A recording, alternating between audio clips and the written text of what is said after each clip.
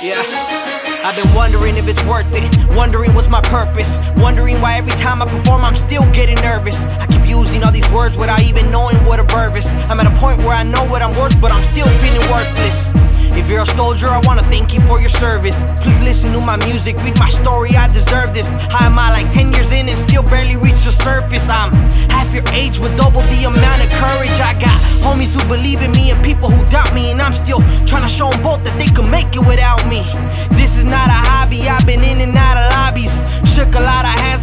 trusted anybody. I got plans and a few loyal fans. I don't plan to let it go, but if I do, well, they understand.